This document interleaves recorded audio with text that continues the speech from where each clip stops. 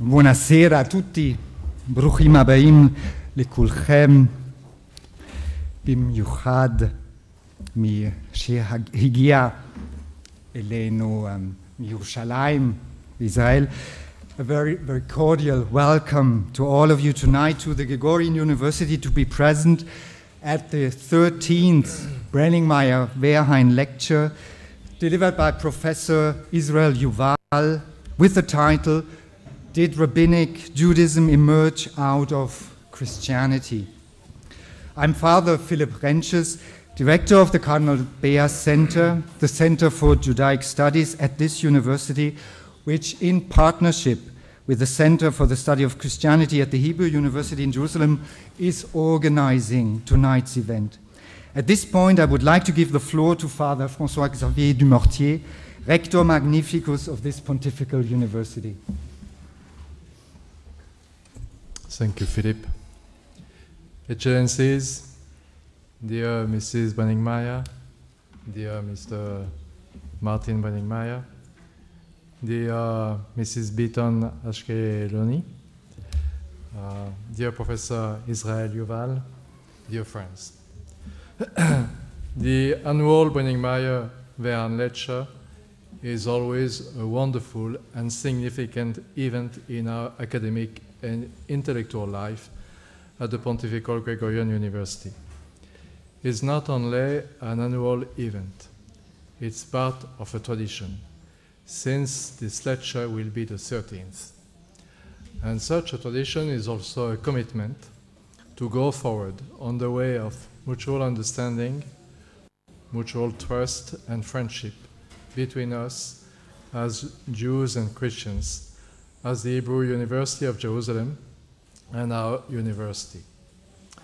Our Pope Francis has already taken several opportunities to emphasize very strongly how much the Jewish Christian relationship is really crucial. I may say that we are eager to develop, deepen, and strengthen our own involvement in such relationship as the Saint Bea is already striving to do under the inspired, inspired guidance of Father Renczes. If there is such a fine tradition of conferences by outstanding scholars, it's thanks to your support, Mrs. Brenninkmeijer. It's certainly always a privilege to have you with us. Unfortunately, your husband is not with us tonight, but all of us are thinking of him this evening. But it's also a great opportunity to thank you deeply for your support and your generous funding, as well as your friendly closeness to what we are trying to do year after year with a long term perspective. I would like finally to welcome you, Professor Israel Yuval. Your presence is a great honor for us, and thanks to your participation this year, our relationships with the Hebrew University of Jerusalem reveal once again how important these relationships are for the present time and for the future. Many thanks to all of you for your presence. I wish you a wonderful evening. Thank you.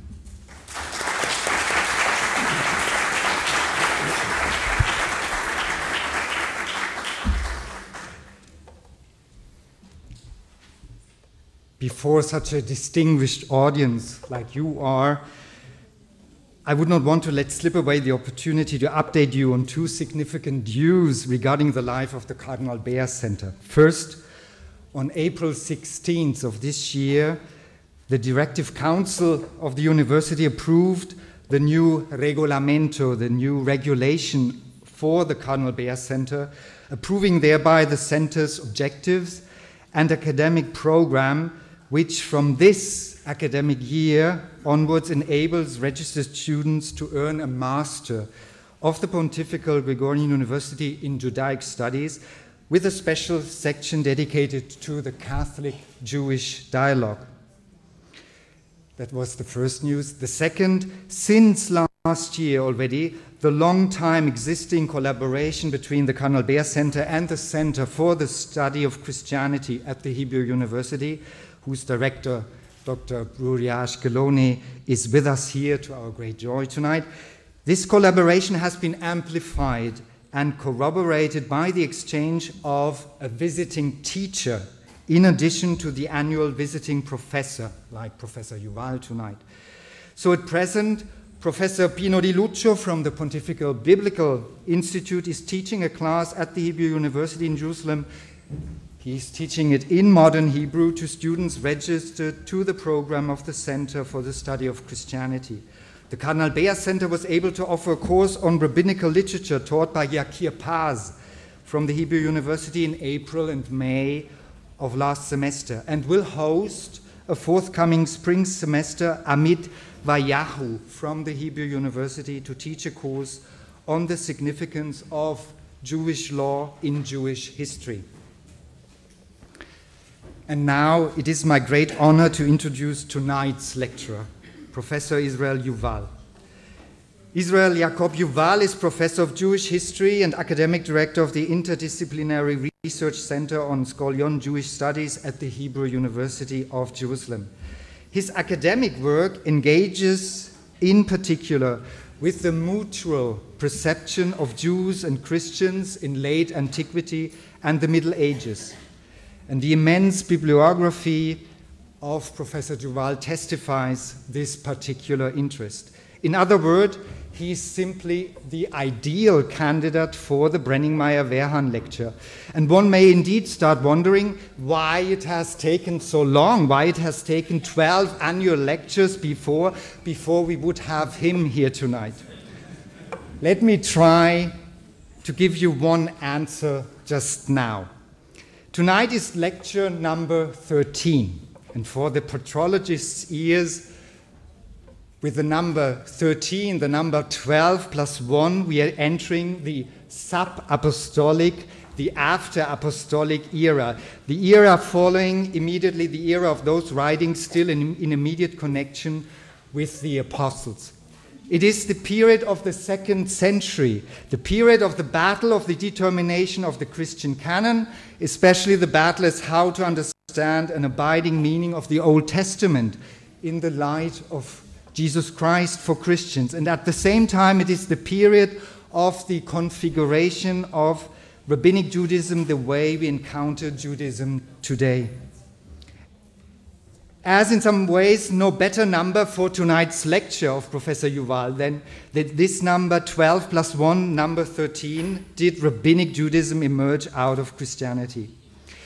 Yesterday, Professor Yuval, in a seminar session with the students of the Cardinal Bea Center, said when he was younger, maybe much younger than he is now, still young, he was considered a provocateur, someone who loved to run up with his thesis, run up against established academic certainties. Now, said Israel Yuval yesterday, he has become sort of part of the establishment. well, some very excited emails from Seattle in the United States, from Washington, D.C., some places in Italy, written by persons who absolutely would like to receive the link to the video that portrays Professor Yuval's lecture tonight, which the Cardinal Bea Center indeed will put out on his, uh, its website, is telling me that tonight's lecture is still perceived to be stimulating, if not provocative. Ladies and gentlemen, to you, Professor Israel Yuval.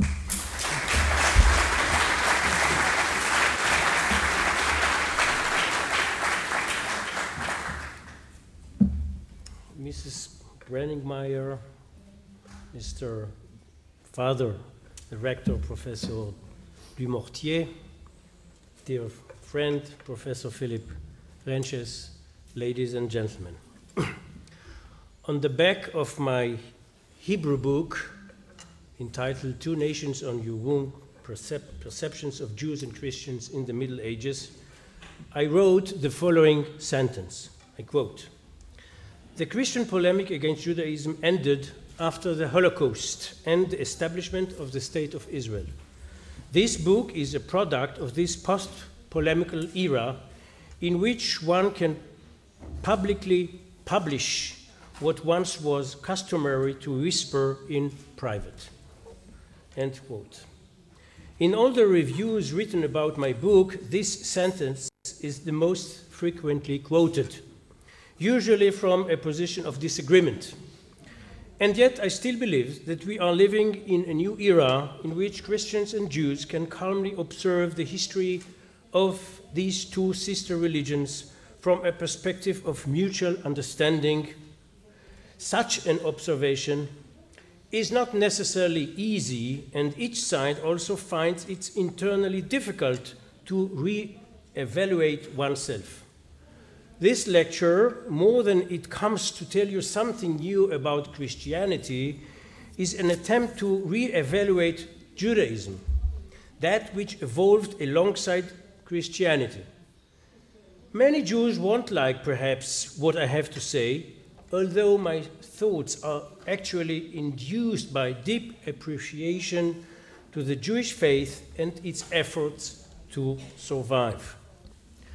I'm deeply excited to come from Jerusalem to, to, to, Rome to talk to you about the relations between Christianity and Judaism, and this is the first time that I do that. This is a personal closure in my academic biography. My scholarly journey in this field began 20 years ago on German land as a student of the Middle Ages who worked also on religious, religious persecutions in the era. My encounter with modern and post Holocaust Germany was a turning point in my endeavor to understand the complexity of Christian Jewish relations in history. From there, I returned back to the land of Israel to look at the origins of this shared and painful journey. Now I arrived at Rome to close this circle and present to you my current perspective, the fruit of 20 years of research. It is a special pleasure and honor for me to do so in such a, in such a special evening in the presence of Mrs. Brenninkmeijer Werhahn, a great lover, her and her, of her and her husband of Christianity and Judaism, who are both making every effort to prove that what I have wrote in my book is indeed true and that Christian polemic against Judaism had in fact ended. Many scholars in Jewish studies and in Christian theology regard Judaism as the mother religion and Christianity as the daughter religion. This is also an old model which defines the relations between the two religions. It can find some support in the famous parable of Paul. I quote, If the root is holy, so are the branches. For Paul, the root is Abraham and the patriarchs as founders of the Jewish people. If they were holy, so should the branches be of their descendants. But then Paul continues and introduces the new believers, believers in Jesus using again the metaphor of the tree. And I quote the famous location in Rome If some of the branches have been broken off, and you, thou a wild olive shoot, have been grafted in among the others, and now share in the nourishing sap from the olive root, do not consider yourself to be superior to those other branches. You do not support the root, but the root supports you.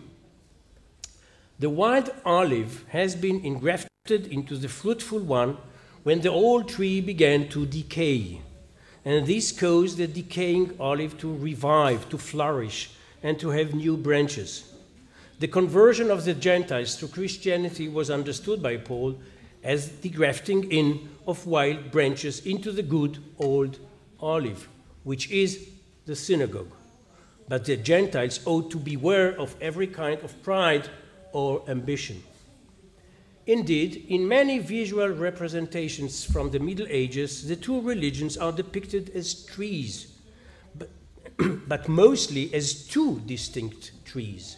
In the Liber Floridus, written in 1120, the synagogue is depicted as a dry tree called Arbor Mala, whereas the church is the Arbor Bona. Joachim de Fiore preserved the Pauline one tree description. The tree, his tree, is divided into two branches stemming from Shem and Japhet. The branch of Shem, The Jews will flourish until the son will be revealed.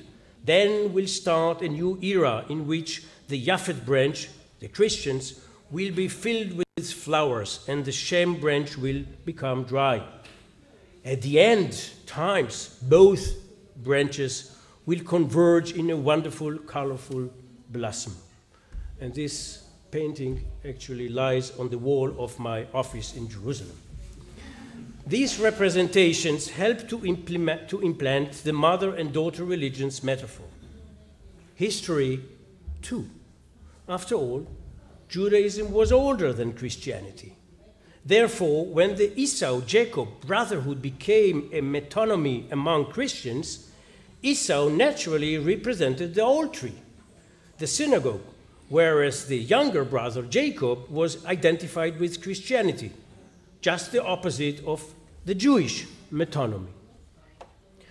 I would like to offer today a corrective.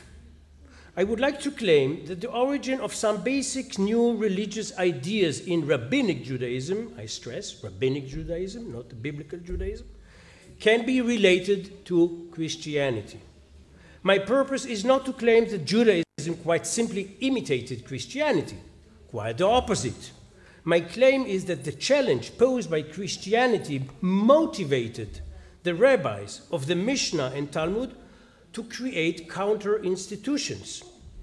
The unique creativity of rabbinic Judaism in a rural and small population in the constrained space of the Galilee between the third and the fifth centuries is the result of the blurred borders between the two religions.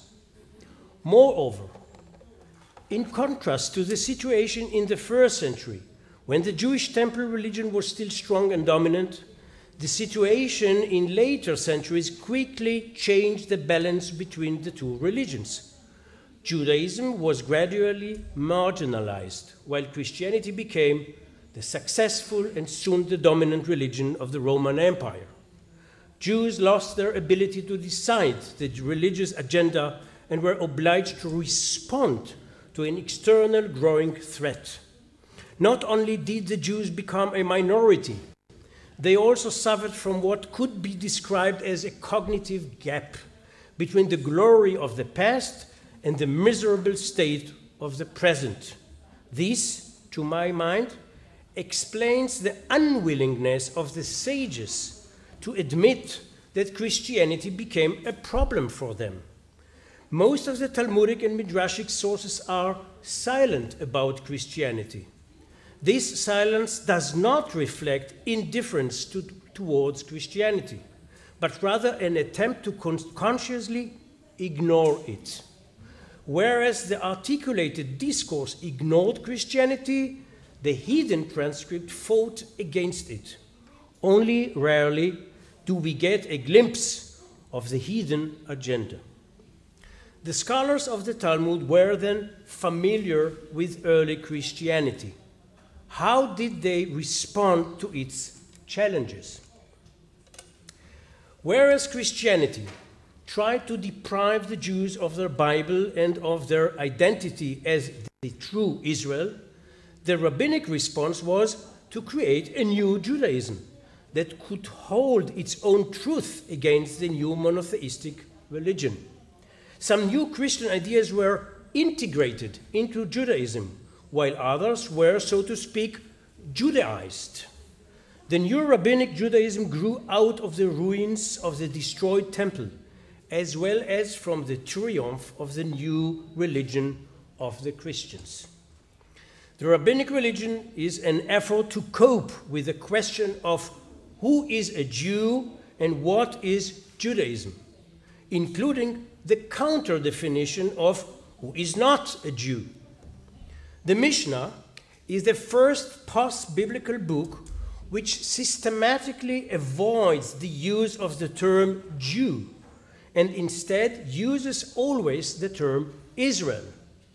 By using solely the term Israel, the editors of the Mishnah seem to cope with Paul and with the denial of their identity of Israel by early Christi Christians. Correspondingly, the Mishnah is the first book to use the term, well known today, goy, as indicating a non Jew. The biblical word goy meant a people, a folk, including the people of Israel. But the Mishnah wanted to create among Jews a new sense of ethnic identity by drawing semantic lines between the true Israel, who is a Jew and only a Jew, and all other people who have got the new name Goy.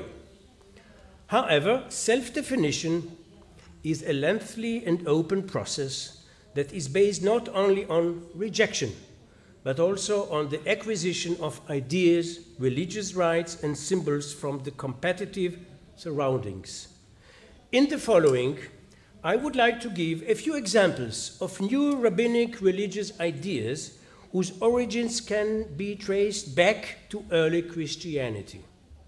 I will concentrate on three important examples, or four the creation of a new sacred text, the organization of sacred time, and the ideology of atonement and salvation in rabbinic Judaism. Let us start with the creation of the sacred text. According to the belief of the rabbis, a second Torah, the oral one, was given to Moses at Mount Sinai together with a written Torah, Torah Shebaal Peh, Torah Shebichtav. This second Torah has been orally transmitted from generation to generation, and its study should also be conducted only orally. It was forbidden to write down the so called oral Torah, one wonders what stands behind this new oral ideology. It is common knowledge in culture studies and anthropology that the general course in the development of societies is from orality to textuality. The rabbis had behind them a long tradition of textual culture, as manifested in the Bible and in Second Temple literature. Why did they decide to move, so to speak, backward by adopting orality as an ideological command? The explanation I offer is that the emergence of Christianity, which is heavily oriented toward texts, caused the rabbis to adopt new marks of distinction. For centuries, monotheism had sufficed to distinguish Israel from its pagan surroundings. But the emergence of Christianity as a second monotheistic religion reshuffled the cards. Not only did it nullify the monotheistic uniqueness of Judaism, but it also adopted biblical text as its own and included them within its own sacred scriptures. In this manner, the need was born among the Jews to create an additional sign of separation, one that would clarify, distinguish them, them from Christians. Christianity defined itself by means of an alternative text, by the New Testament. And the Jews responded by creating their own alternative text, the Mishnah, and thereafter the two Talmuds, the Palestinian and the Babylonian. In a, in a similar and parallel move, the two religions both set up a new identifying, uh, identity defining text. Judith Lieu emphasized the textuality of the Christian canon as formative in establishing identity. And in a parallel manner, one may point towards the orality of the oral Torah as formative in establishing the rabbinic identity and distinguishing it from its environment it ought to be emphasized that more than the rabbinic oral text reflects the concrete historical reality, it fashions it. The oral text is not only the result of a given historical reality, but it also plays a role in creating a distinct community, one with an identified internal discourse different from that customary in its surroundings. One is speaking here of an ideological decision formulated in an explicit way, and I quote now from the Talmud. Those things that are written you are not allowed to say orally. Those things which are said orally you are not allowed to say in writing. And this is only one statement out of many. The question stands out even more stri- strikingly when examined against the background of the Greco Roman pagan and Christian environment. The sages operated in a cultural environment marked by a prolific textual activity. Despite this, and notwithstanding the old Jewish tradition of writing during the Second Temple period, they insist upon the prohibition of writing. As a result, their creation is anonymous and collective, and is not crystallized around a single subject, but always around a former text, the Midrash around the Bible, and the Talmud around the Mishnah. It is true that they inherited this orality from the Pharisees, who used it as a method of transmitting knowledge and of learning. That is to say, it had a purely pedagogic function. But among the sages, orality assumed an ideological function in their struggle with the adoption of the written Torah by Christianity. This challenge is not simply an external point of friction, far away from the battlefront between the two competing religions, but rather an element that fashions and shapes the core, the substantive contents of the Jewish religious creation. The study of the oral Torah and not of the written Torah became the great religious principle from that point on and until today, because it alone defined Jewish uniqueness in comparison to Christianity. I move now to the concept of sacred time or times or festivals. The destruction of the temple in Jerusalem deprived Judaism from its sacred place and left it only with its sacred time. The need to reorganize sacred time was, was joined by the need to confront the interpretations given to biblical festivals by Christians. Thus, the Seder evening is closely related to the Last Supper. Contrary to the common understanding, I wish to claim that the Last Supper is not an adaptation of the Seder, but rather the opposite. The Seder is a later Jewish response to the Christian Easter. Until the destruction of the Second Temple, the main ritual of the Jewish Passover was the sacrifice of the lamb on the 14th day of Nisan, of the Jewish month of Nisan, and it, its consumption in Jerusalem during the night of 15th Nisan. This night was later given the name Seder night. The gospel traditions differ on whether Jesus' Last Supper took place on the eve of Passover as in the Synoptics, or an evening before, as in John.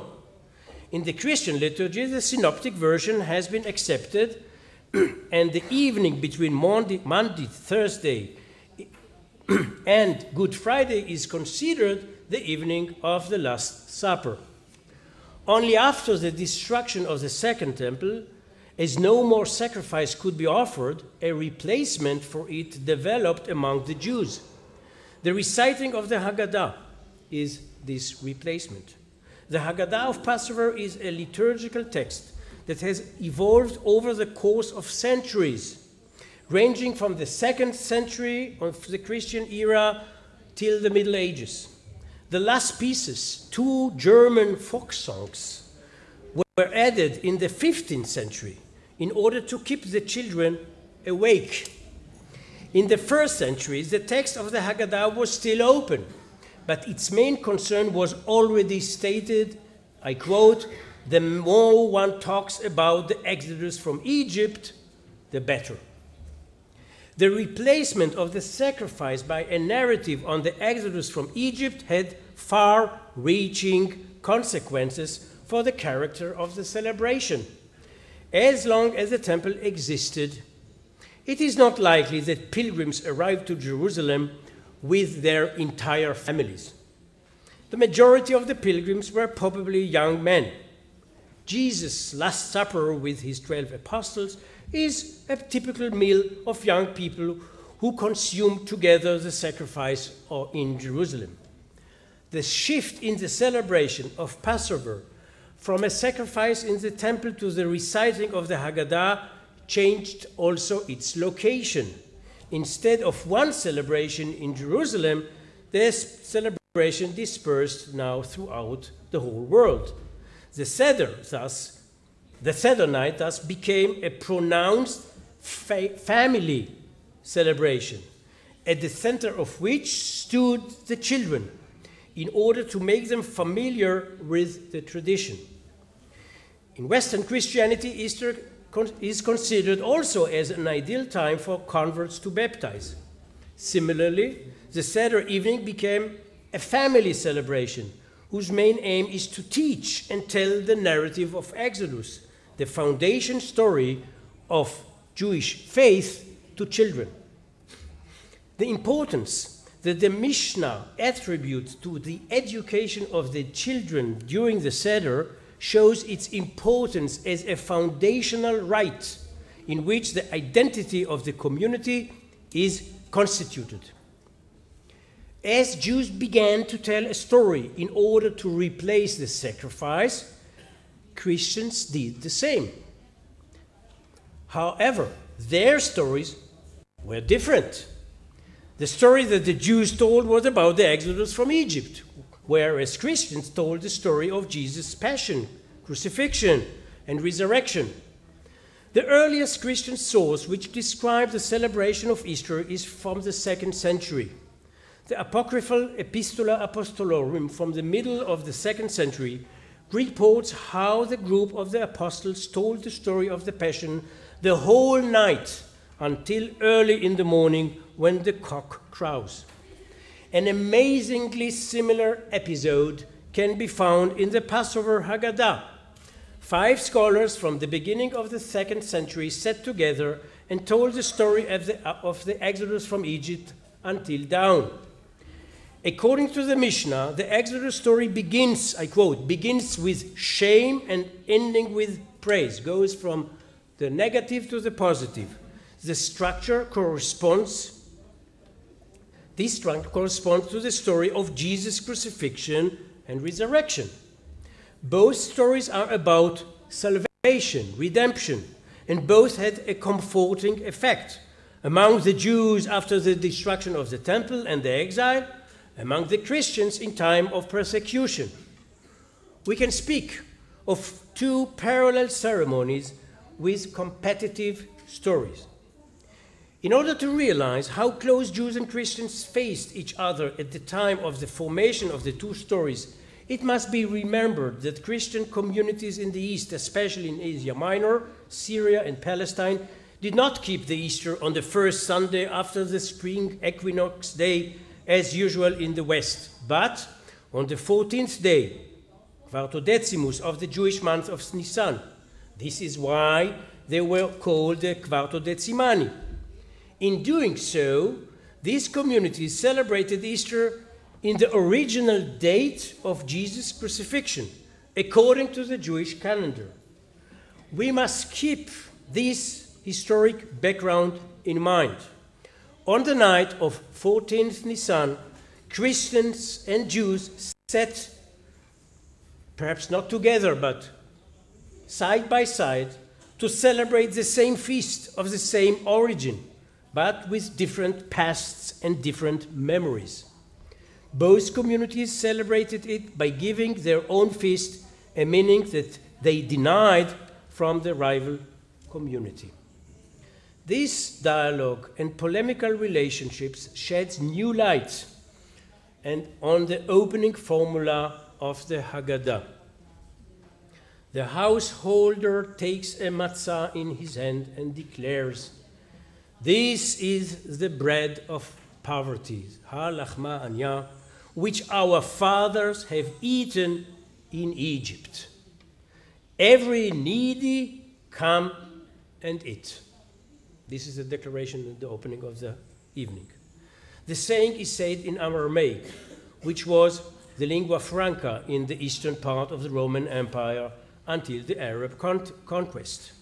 The Aramaic language and the position of this declaration at the beginning of the Haggadah give it the effect of a declaration of intent and put it in contrast to another famous opening formula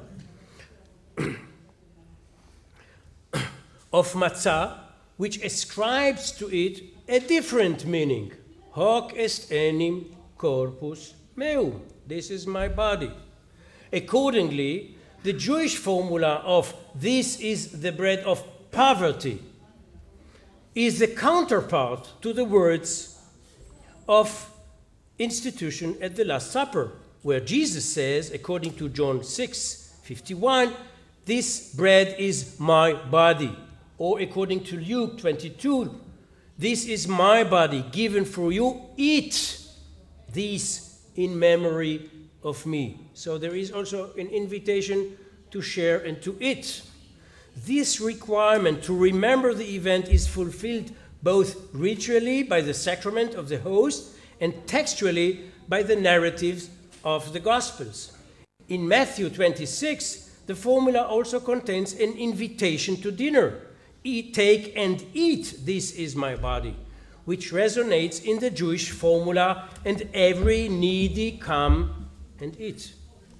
According to the Jewish interpretation, the bread of poverty, the matzah, recalls the suffering of Jesus. According to the Jewish view, it is reminiscent of the bondage in Egypt. This is only one example out of many, which consist as a whole a much wider phenomenon. The Haggadah was created as a response and as an alternative to the Christian salvation story of crucifixion and resurrection both stories are based on the model of an exodus from darkness to light, chashecha leora, and from slavery to freedom, mishiabud legeula, as formulated in the Haggadah and in the Peri-Pascha of Melito of Sardis, a bishop from the second century whose sermon on Easter was discovered in the middle of the 20th century. Jews and Christians both agree that the story of the Exodus from Egypt is a typological model for a future redemption, with the difference being that for the Christians, salvation has already occurred, while the Jews are still waiting for it. In this regard, we can perhaps say that the earliest Passover Haggadah are the Gospels. The Jewish later Haggadah for Passover would be a Jewish response or, thank you, counter narrative to the Christian Passion narrative. Let us now turn from Passover to Shavuot, the Feast of Weeks, and from Easter to Pentecost. The rabbis' festival of Shavuot, commemorating the reception of the Torah echoes the festival of Pentecost, commemorating the descent of the Holy Spirit on the followers of Jesus on the 50th day after crucifixion. That is the foundation of the church and the making of the new covenant. The meaning of Shavuot as a commemoration of the revelation of the Torah on Mount Sinai was only developed after the destruction of the Second Temple. The Torah does not mention a specific date in which Moses climbed on Mount Sinai, and it does not hint to any connection between Shavuot festival and the revelation of the Torah. Only in the book of Jubilees from the second century BCE, we find the idea that the Shavuot festival was the date of the renewal of the covenant with Israel the renewed covenant in Sinai continued the earlier covenants with Noah and Abraham.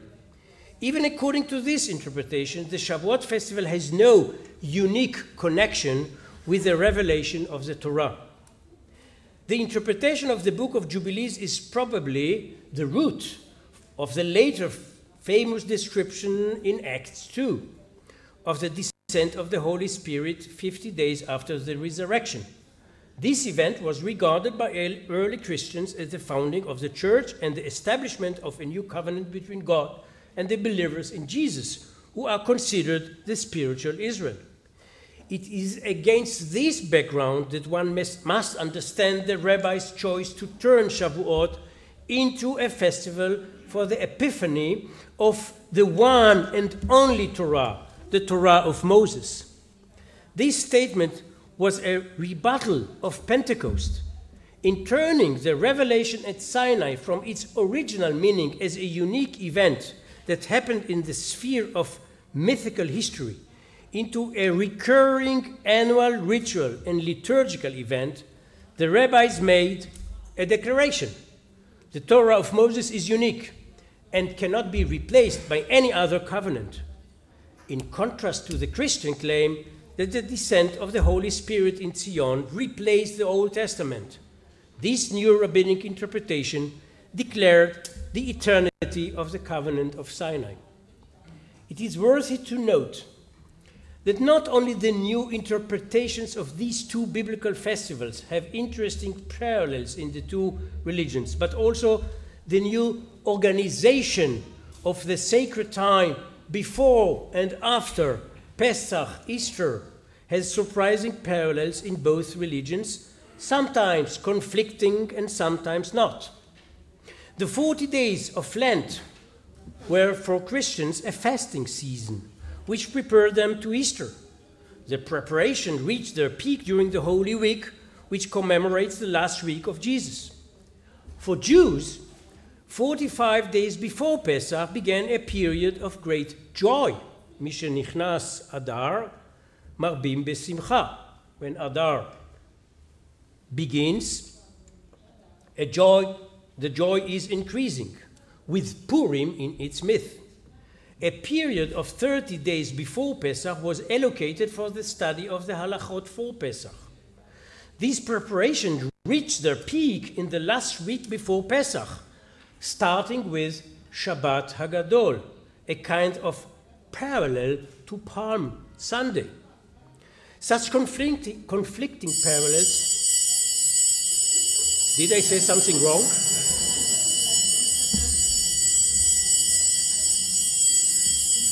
This is a voice from heaven. From heaven, sorry. Such conflicting parallels, the third covenant, such conflicting parallels continue also in the period after Pesach and Easter. For Christians, the Easter season between Easter and Pentecost is a time of joy and celebrations of Jesus' resurrection. After all, it is spring.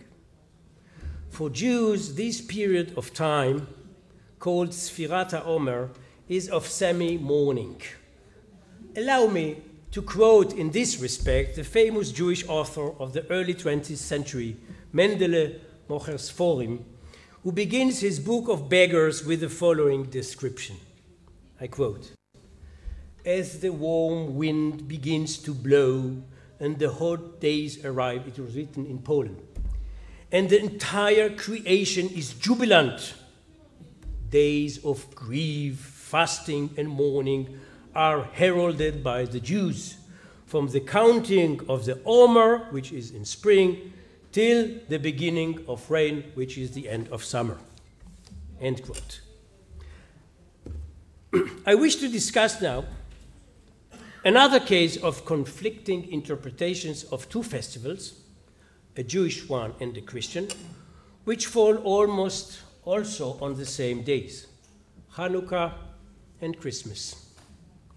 As I will try to postulate later, we have good reasons to believe that Christmas saved Hanukkah from being forgotten by filling it with new meanings. Let me first open by a few observations concerning Hanukkah in the first centuries.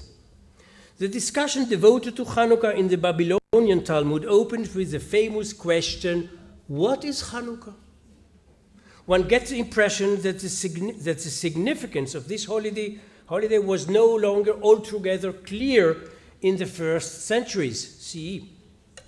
The answer given by the Talmud is no less perplexing than the question. we would have expected the Talmud to tell about the rebellion that broke out in Judea in the year 167 BCE in wake of the prohibitions imposed by the Greek king Antiochus Epiphanes on the performance of the commandments of the Jewish religion. We would also have expected the Talmud to tell us something about the military successes of the Maccabees in, in conquering Jerusalem from the Hellenizers and renewing the service in the temple.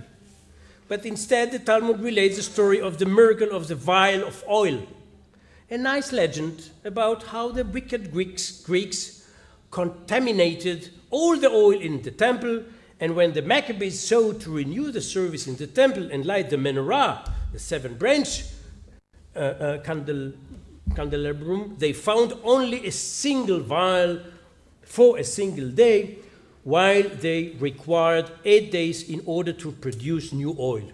A miracle occurred, and the oil in this single vial sufficed for eight days. And this is the explanation why we light candles in the menorah.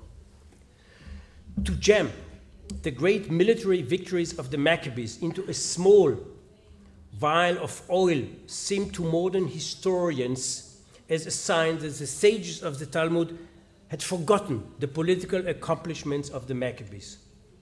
There are even those who claim that they were not only forgotten but erased from memory.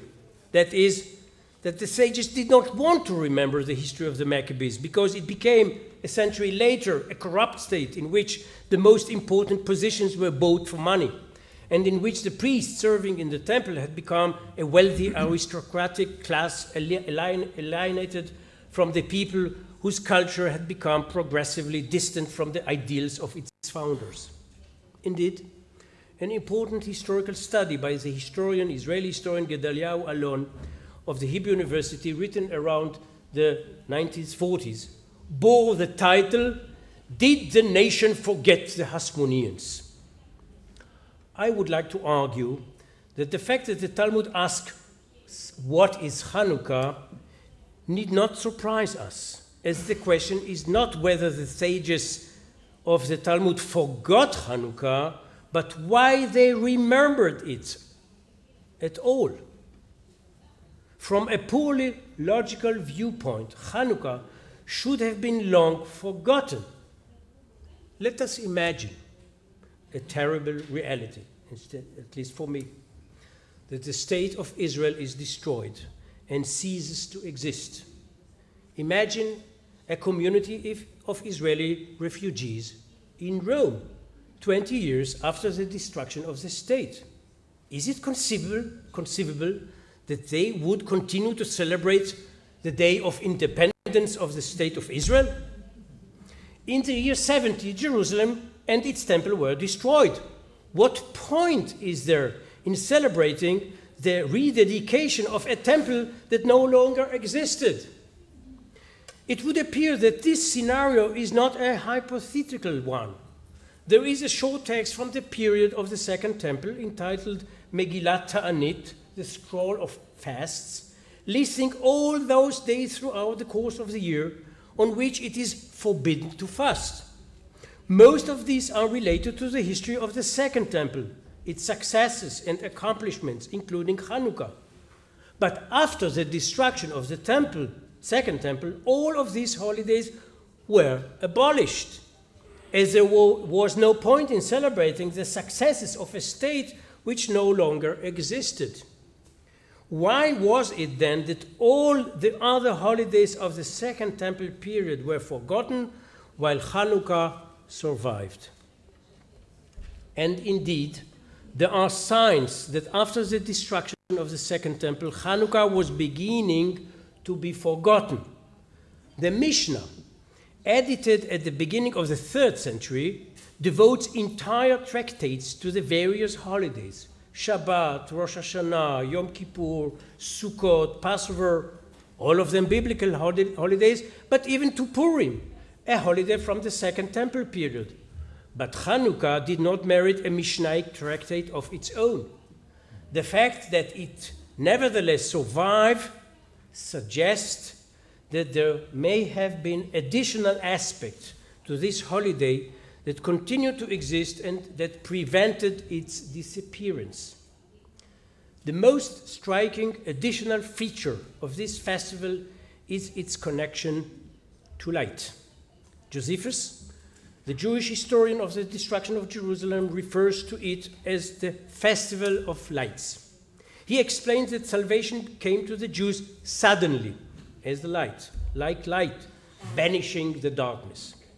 Similarly, the Talmudic Haggadah legend concerning the miracle of the vial of oil emphasizes the motif of the menorah and the light, as does also the obligation to light candles. This connection between Hanukkah and light is alluded in the following beautiful Talmudic legend of Avodah Zarah. I quote After Adam was created, and according to Talmudic belief, Talmudic view, the world was created on Rosh Hashanah, which is around September, the end of summer. So after Adam was created, he noticed that the days were getting shorter and shorter, and the light was getting progressively weaker and dimmer. Hence, he was filled with dread that the world is returning to darkness and chaos, and began to fast for eight days until the shortest day of the year. Once he saw that the days were becoming longer and the light was increasing, he made the next eight days into festival days. The next year, he made both these two cycles of eight days into festival days. He, Adam, established them for the worship of God. This was his intention but they, the pagans, according to the Talmud, established them for the worships of idols. This last sentence of the Talmud clearly refers to two Roman, Roman festival days, Saturnalia and Calendis. Saturnalia is celebrated on the 17th of December, and Calendis on the 1st of January. According to the Roman calendar, the 25th of December was the day of the solstice, the shortest day of the year. Now, between the 17th of December and the 25th, there are eight days during which the light becomes continues to become progressively weaker. Whereas between 25th of December and the 1st of January, there are again eight days during which the light increases. So we have these two cycles of eight days. During the third or fourth century, the 25th of December was marked in Rome as a holiday of the birth of Sol Invictus, the invincible Sun, God. But the Talmud still does not mention any Roman holiday on this day. It, and it, it also make no, makes no explicit connection between Saturnalia and Calendis and Hanukkah. However, the fact that the Talmud points out that Adam fasted for eight days and made a feast of for eight days, and that he made them later into holidays, alludes to the, a parallel between Hanukkah and one of the two units of eight days, either before the 25th of December or after it. A connection between Hanukkah and the shortest day of the year is indeed very plausible. It begins, Hanukkah begins on the 25th of Kislev, the Hebrew month, the natural Hebrew equivalent to the 25th of December. It also occurs when darkness, darkness is in, at its height, the shortest day of the year, as well as during the closing days of the Hebrew lunar month, when the light of the moon waves and then completely disappears.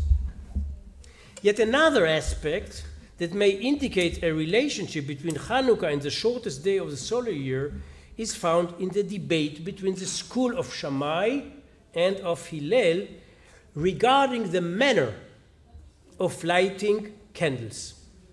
The Shammaites think that one ought to light eight candles on the first day of Hanukkah and then reduce the number on each successive day. While the Hillelites hold that on the first day one lights one candle, adding an additional candle each successive night until one lights eight candles on the eighth night, and this is the custom that is practiced today. Now, the Shammaites' approach may be seen as parallel to the first unit of eight days in the pagan system between December 17 and the 25th, during which the light gradually becomes dimmer, whereas that of the Hillelites neatly parallels the second unit of time in the pagan system between the 25th of December and the 1st of January, when the light gradually becomes brighter. Where is Christianity here? Now it comes. During the first, fourth century, Christianity came to dominate the Roman Empire. The festival of the sun god on 25th of December was replaced by Christmas, and Jesus replaced Sol Invictus. According to Matthew, when Jesus was born, a star appeared above Bethlehem, symbolizing the light brought into the world by Jesus, also called by the evangelist John the light of the world. The statement, which has no source in the New Testament, as you, sure, as you surely know, that Jesus was born on the 25th December created a relationship between the Christian story of the birth of the Messiah and the shortest day of the year. Thus, the renewal of light as an experience of nature received a mythic expression in both religions.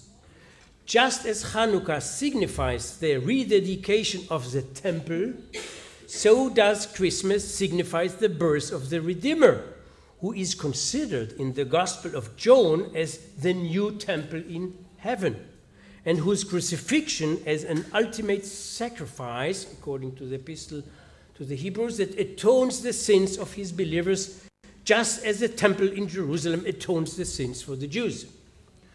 We thus have three focuses of light. For the Romans, the sun god, for the Christians, Jesus, and for the Jews, the temple and its menorah. All relate more or less to the same date, the 25th of December, the 25th of Kislev. In all three religions, the Roman pagan, the Christian, and the Jewish, the natural event receives a religious meaning. These parallels may explain why Hanukkah did not disappear and was not forgotten. In the fourth century, Hanukkah was needed in order to confront not so much the Roman feast of light, but the Christian figure of Jesus as Messiah. And indeed, we begin to find at that time messianic new elements in Hanukkah as well. The candles serve not only to commemorate the miracle of the vial of oil or the victory of the Hasmoneans, but also, or rather, a symbol of the Messiah and the future redemption of Israel. The lights of Hanukkah become the lights of the Messiah. Taking the word Christos in its literal sense, meaning Messiah, we can speak about a Christianization of Hanukkah, a suitable Jewish answer answer to Christmas. To mention one example out of many, in the familiar liturgical hymn sung during Hanukkah Ma'oz Tzur, the final stanza is entirely devoted to the anticipated messianic redemption. I quote, Uncover your holy arm and bring close the final redemption. End quote. Thus, the light of nature is transformed in both religions into the light of the Redeemer. By adopting the motif of light, it became necessary for the introducers of Christmas to overcome the similarity between the pagan celebration of the birth of Sol Invictus and the birth of Jesus, both celebrations of light. In a sermon from around the year 380 on the holy lights, Gregory of Nazianzus writes the following I quote Again, my Jesus, and again, a mystery, a mystery, not deceitful, not disorderly, like that of the pagans, no belonging to Greek error or drunkenness, for so I call their solemnities of the pagans, but a mystery lofty and divine, and a light to the glory above.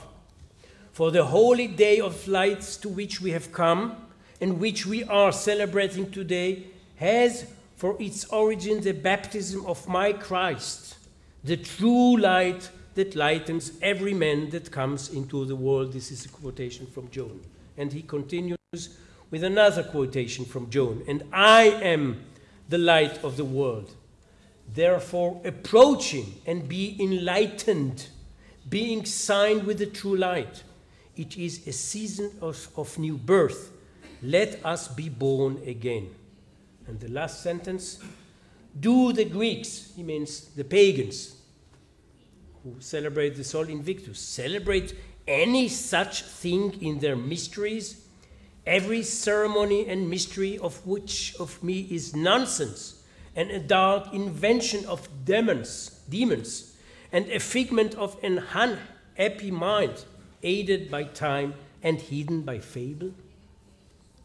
We sense here a very strong effort to set borders between the Christian holy mystery and the mysteries of the Greeks, the Roman pagans. Both have light. Both celebrate the birth of a god in the solstice. This proximity is dangerous, and the difference is minimal. The only way to claim uniqueness is by labeling the other as profane, demonic, and to regard one's own light as sacred. A similar development can be observed in the rabbinic halacha. A liturgical poem for Hanukkah states, Hanerot halalu kodesh hen, ve'en lanu reshut lehishtamesh bahen. These lights are sacred, the lights of the candles of Hanukkah, and we are not permitted to make use of them. Why are we not allowed to use the light of Hanukkah candles? After all, Shabbat is a more sacred day. The lighting of its candles is dealt in a special chapter in the Mishnah, but it is not considered sacred, and we are even required to enjoy its light. How come that the candles of Hanukkah became more sacred than the candles of Shabbat? My suggestion is that the rabbis adopt the same tactic of the Christians. They felt, felt obliged lehavdil ben kodesh lechol to make a distinction between the sacred and the profane. However, it is not the pagan light that disturbed them. As we have seen, the Talmud was not troubled by heathens who turned the Adam festivals to pagan light. It is the Christian surroundings it, and its use of light as a symbol for the birth of the Son of God that blurred the uniqueness of their Hanukkah light. The Jewish light had to become sacred, or to use the Greek term used by Gregory of Nazianzus, it had to become a mystery. Determining that Hanukkah candles are, are sacred raises yet another question. Holiness is a metaphysical concept and its source should be divine. But the obligation to light Hanukkah candles is not God's commandment, but is rabbinic. Under what basis could the rabbis define their human regulations as holy? That question was discussed in great length in the Midrash. It called Midrash Pesikta Rabati. It begins with the following statement. I quote No one should say that he will not obey the elder's prohibition to use Hanukkah's candles for unholy purposes because such commandments are not to be found in the Torah. To a man who does say such a thing, the Holy One, blessed be He, replies, No, my son, whatever laws the elders decree for you, obey. End quote. To solidify that claim, the Midrash quotes a famous Midrash according to which, and now we go back to the concept of oral law, according to which the oral Torah assumed a crucial function in the struggle with the adoption of the written Torah by Christianity. The oral Torah is depicted as mystery between God and Israel, with whom the Christians have no share. I quote Moses, when he received the Torah, according to the Midrash, asked God that the Mishnah also be written, be written, like the Torah. Why to keep it all? Give me also the oral Torah in a written version. But God foresaw that the nations would get to translate the Torah and reading it, say in Greek. and they would declare, We are the children of, uh, sorry, we are Israel. We are the children of the Lord. And Israel would declare, No, we are the children of the Lord. And the scales would appear to be balanced between both claims. Who is Verus Israel? This is my addition. But then God will say to the nations, I continue the quotations, What are you claiming? That you are my children?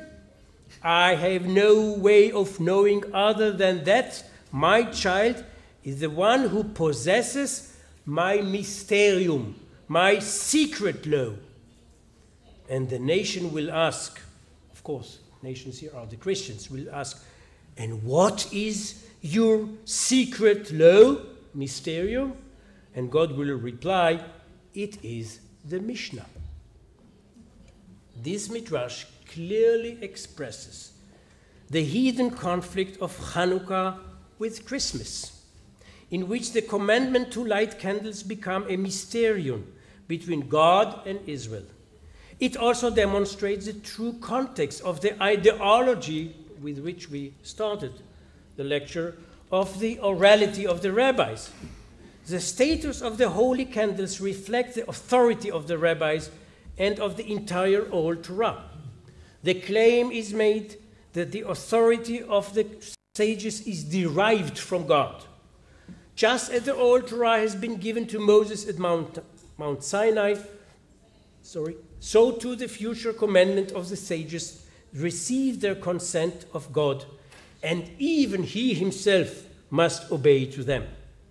This is what makes the difference between the nations, the Christians, who read the Torah, the Bible in Greek, and Israel. While Gregory of Nazianzus used the term mystery to distinguish between Christian, between Christmas light and the pagan's light, for the Midrash, the holiness of the candles and the mystery of the oral law distinguish Judaism from Christianity and from its sac- sacraments. The light of the candles is a reenactment of the light of the oral law. Both are facing the challenge of the light of Christ. Hanukkah's light was declared sacred because it has been raised as a torch against Christmas light. And by that, I come to the third and last point atonement and salvation. And this will be much shorter. I would like now to turn to the third axis in which I discover religious concepts in rabbinic Judaism which were, so to say, borrowed from Christianity uh, and were finally integrated into Jewish self understanding as authentic Jewish ideas. This third axis is characterized by a series of connections and religious ideas that revolve around a suffering Messiah, a Messiah who will die and rise again, a human sacrifice whose death will atone for sins.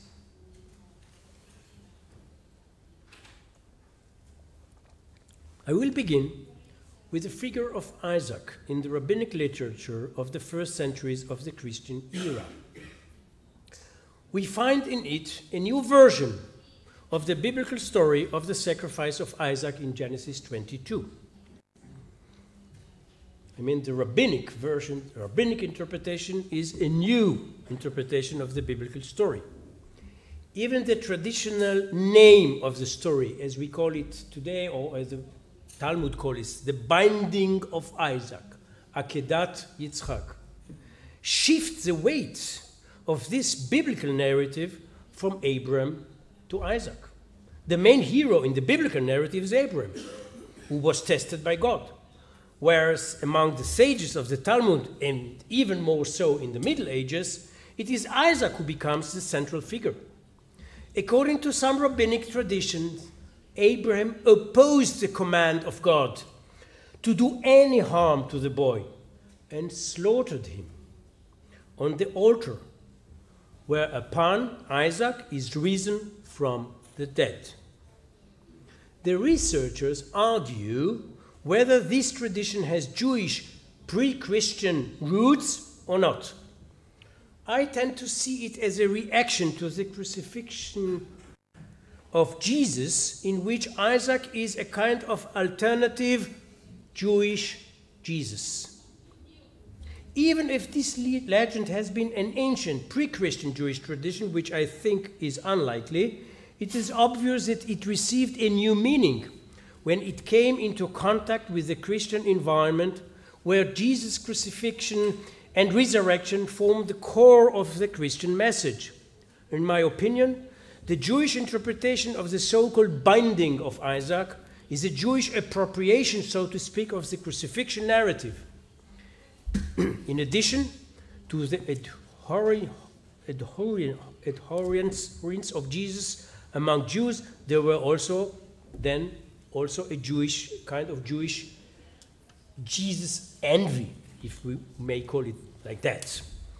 Shalom Spiegel has pointed out, he is the first one who elaborated and presented this weird, strange legend about Abraham slaughtering Isaac.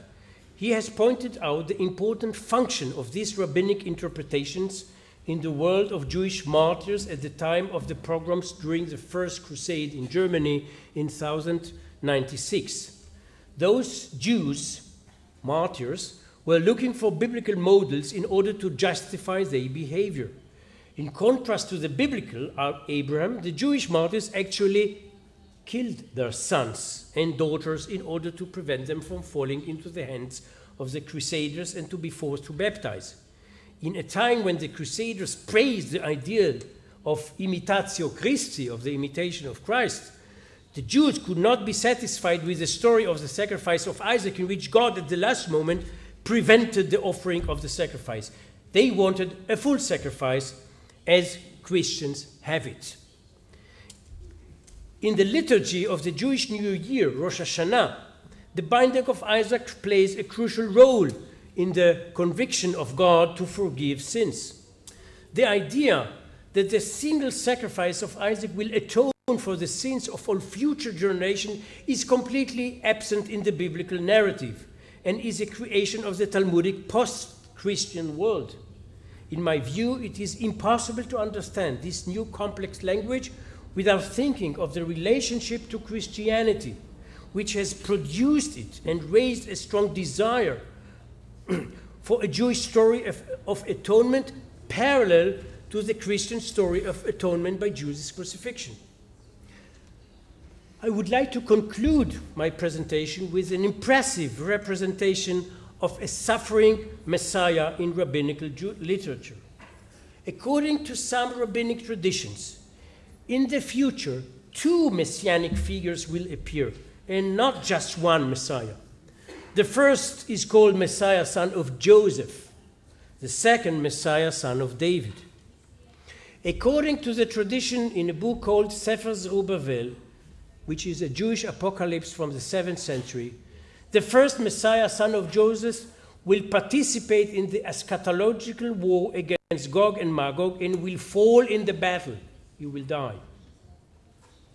Then the Messiah, son of David, will appear, defeat Armilius, and bring the Messiah, son of Joseph, back from the dead. In another midrashic compilation from the 7th century, Pesikta Rabati, again the same one quoted before, the Messiah, son of Joseph, will suffer great pain before his death. I quote, Iron beams will be brought and loaded upon his neck. This is a description. The suffering Messiah, son of Joseph, is quoting Psalms 22. My mouth is dried like a pot shared. Words that remind us Jesus' thirst on the cross. Psalms 22 is interpreted in Christian exegesis as a typological description of the crucifixion of Jesus, quoting God, My God, my God, why have you forsaken me? which is taken from Psalms 22. In the Midrash, the suffering Messiah is addressing God, asking him, I quote, Master of the universe, how much can my strength endure? How much can my spirit endure? Am I not flesh and blood? In my view, this Jewish Messiah, son of Joseph, who will be killed and will be rise again, is a Jewish internalization of the figure of the Christian Messiah, also son of Joseph. I come to the conclusions. My presentation focused on two, uh, three to four central concepts in rabbinic Judaism the creation of the oral Torah, the oral law, and the ideology to transmit it only orally, the new meaning giving to Pesach, Shavuot, and Hanukkah, the sacrifice of Isaac as atonement, and the image of the suffering Messiah. Some of these religious concepts have pre Christian origins. However, they change their meaning drastically in order to meet the Christian challenge. The Old Torah versus the New Testament, Passover versus Easter, Shavuot versus Pentecost, Hanukkah versus Christmas. The very central messianic drama of atonement and salvation incorporate Christian elements. By claiming this, I would not say that the entire world of Talmudic Judaism evolved from the search for an alternative viewpoint to Christianity. Jews have rules regarding segregation. The, Christmas, the Christians do not. Christian Catholicism has a hierarchical church which never existed in Judaism. It is not my intention to argue about who existed first and who influenced, influenced whom, what is original and what is not. For the present relations between Jews and Christians, it is important to understand that history has placed the two religions together, like twin sisters that affect each other.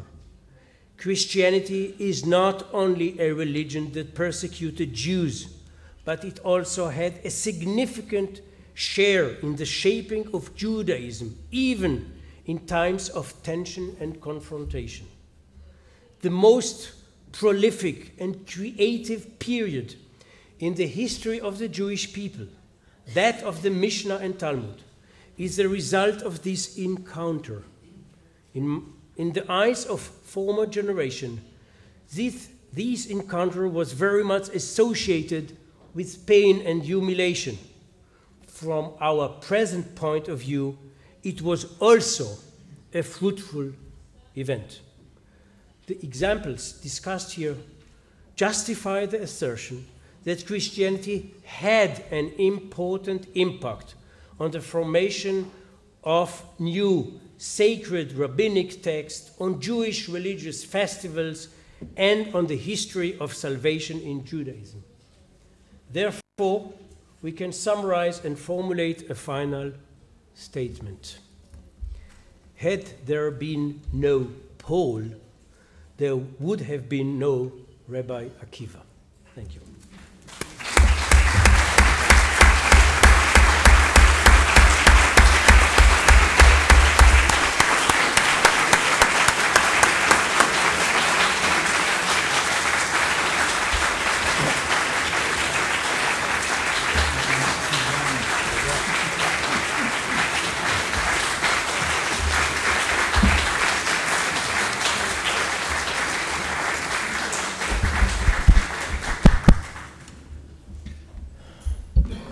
Thank you very much indeed, Professor Yuval. I think at one level or another, we all caught the, let me call it the in, inversive or the even transformative power of what we just heard.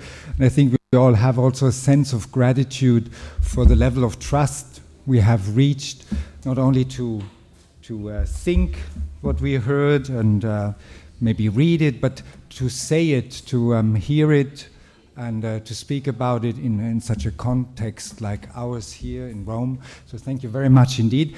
And I hope, um, I'm sure that these inspiring words now stimulate a lot of questions. I'll, I would like to give us something like um, a quarter of an hour, 20 minutes for, for the platea. Yes.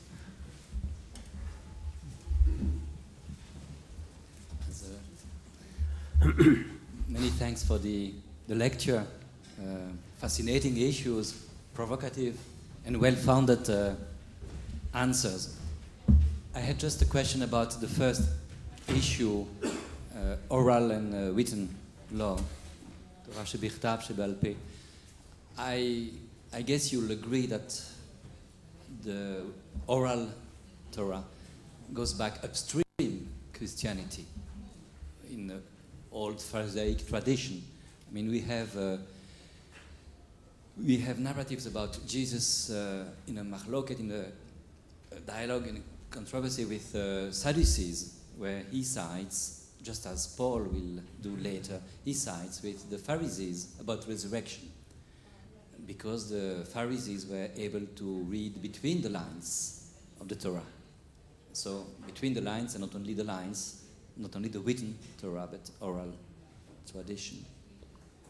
That was the first question. The second is um, how to explain in the Talmud the relative openness of rabbis, of some Chazal, toward the translation of the written Torah in Greek, especially, not only because, I guess, of the Greek, the, the Jewish Greek diaspora, but also because Greek is Greek. It's, uh, the language of Yefet is Yafa, uh, and at the same time emphasize the, the oral Torah as a siag, uh, leave not to, to, build an edge around the Torah. How to explain this uh, paradox? First, your two questions. First of all, concerning the fact that we have traces of orality which are pre-rabbinic. Uh, I emphasized, of course, the Pharisees had already a transmission of orality as source of their language, but they never related back to Moses. They speak about the tradition of the fathers, something that comes orally and related to the ancestors. They don't claim that those laws were given together with the covenant. In other words, orality is not ideological among the Pharisees.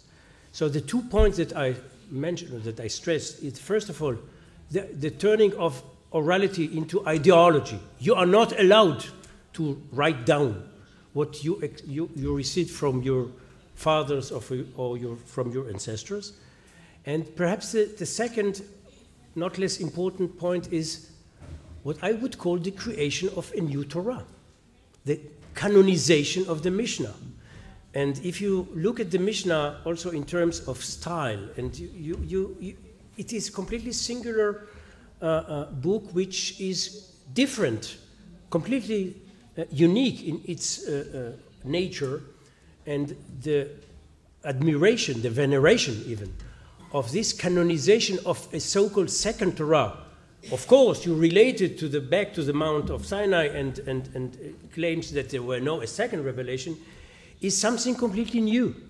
And this is where I see the difference between the, what I would call perhaps the pedagogic approach of the Pharisees and what turned to be much more ideological.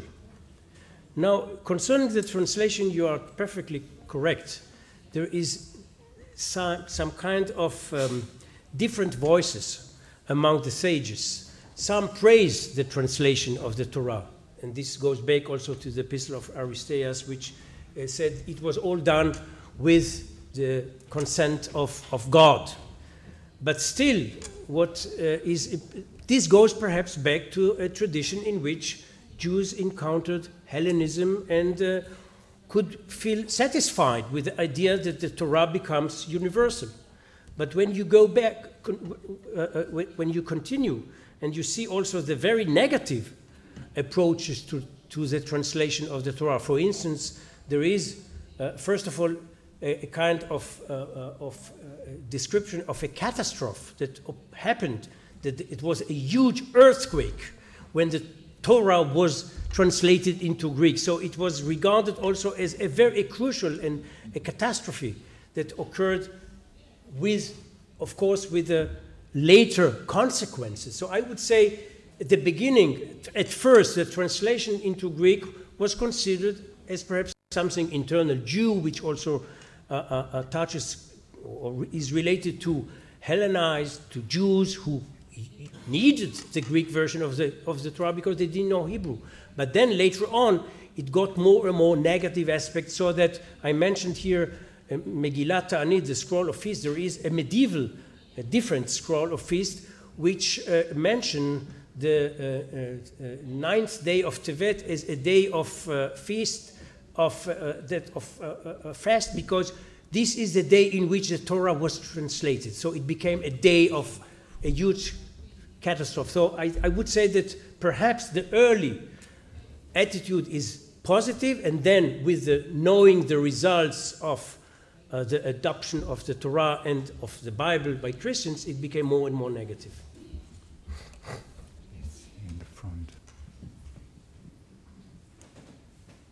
my question is, in, in, your research, the Jewish heretics within the Jewish community, the Minim, were they the followers of that adoption of Greek Torah and development of Gnosticism? Or were they the Jews who were following the teachings of Jesus? Well, allow me not to answer this very complicated, compl complicated question who are the Minim? This is a great debate in research. Uh, uh, to some extent, in, many cases, it is very plausible to assume that the minim, the, what we call in English the heretics, are indeed Christians, uh, especially if I think about, uh, and we mentioned it yesterday in our wor workshop, when we think about the so called benediction, the minim benediction, which in fact is not a benediction at all, but a curse, uh, which is said in the prayer, in the Amidah prayer in which the minim are cursed, probably these are Jewish Christians. And the, the, the meaning, the, it makes sense that the, the, whole purpose of this kind of curse is to uh, uh, eliminate, to expel them, to exclude them from the community. But to claim that every time in which minim are mentioned in the Midrash and Talmud are only the Christian and not Gnostics or any other group, this is something that is beyond my claim, and I would not uh, would like to make such an argument.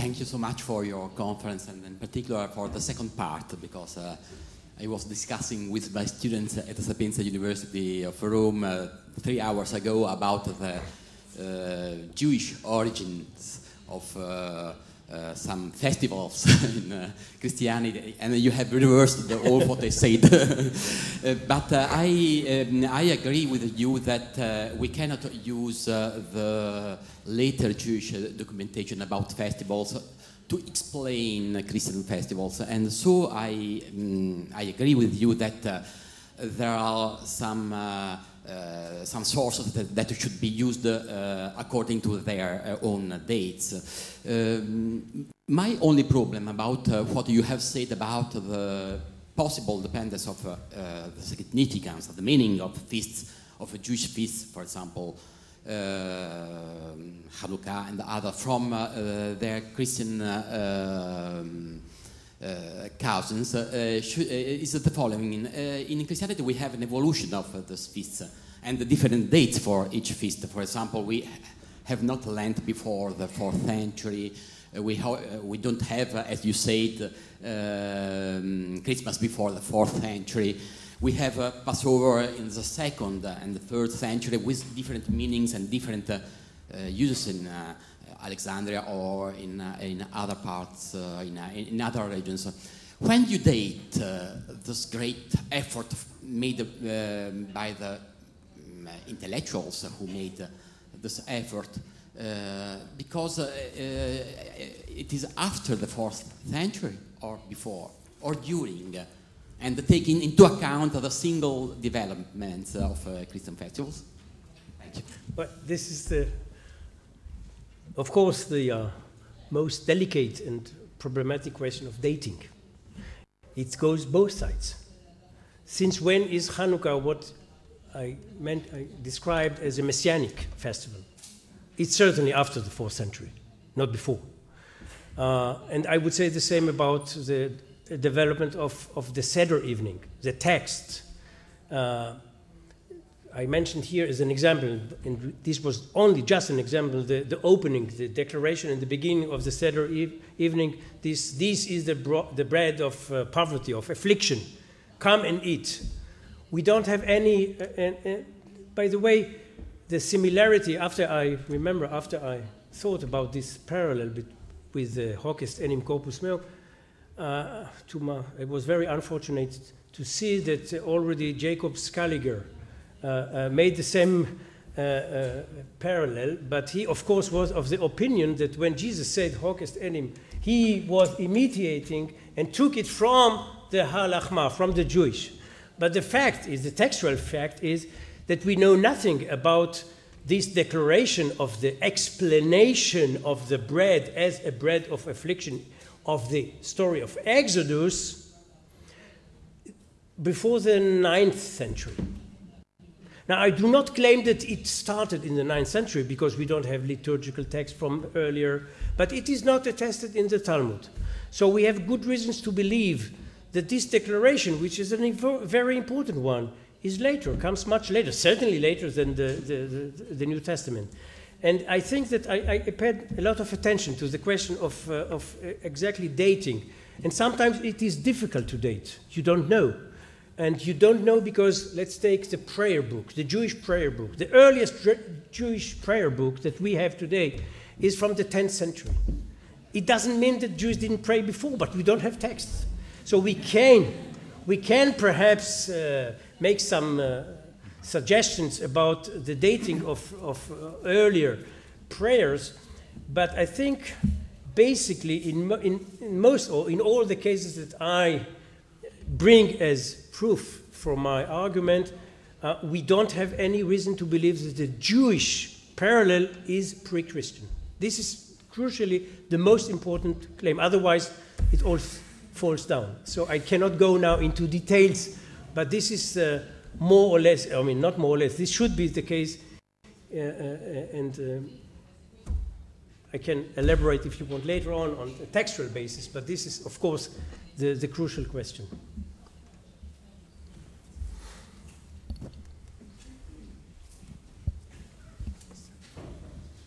In your third point, you referred to the atonement and the new interpretation of the Akedat Yitzchak. Is there also a creative new uh, shape uh, of the Day of Atonement in Judaism uh, through the, the polemics and the dialogue uh, with Christianity? And the other way around, the feast of the elevation of the cross uh, in September we have in Christianity, especially in the Eastern Church. Uh, is it related to the Day of Atonement?